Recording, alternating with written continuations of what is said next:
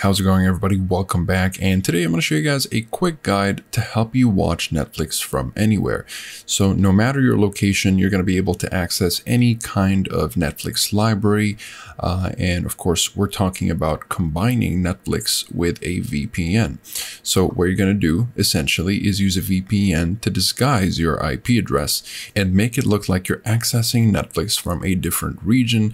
Therefore, you'll have access to that region's Netflix library. And so for this, you're going to need a good, reliable VPN. So I went ahead and tested over a couple of dozen VPNs, and I've narrowed it down to these three as the best overall. And they all vary in budgets and features, so pick and choose depending on your own situation and where you're looking for out of these VPNs and your own budget and preferences, of course. Let's go ahead and just demonstrate using one of these VPNs. And I like to use ExpressVPN because it's what I like to use on the daily. Let's say you're just trying to, you know, unblock the French library. For the sake of the example, we'll connect to France. And the moment I'm connected here, all I need to do is refresh and when I go down to the top 10 shows, you'll notice that it says top 10 shows in France today. And it's also very simple if you want to change back to another library, just pick the right region. Let's just say you're going for the American library.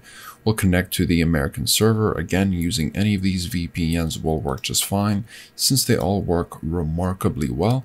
And you'll notice that the France today will change to USA today and uh, we'll just wait until it loads here and going all the way down top 10 TV shows in the US today. And it's as simple as that with regards to accessing any kind of streaming library, uh, whether you're trying to unblock a Netflix library or any other type of streaming service such as Disney Plus, Amazon Prime Video, or whatever it is that you're trying to watch, no matter your location.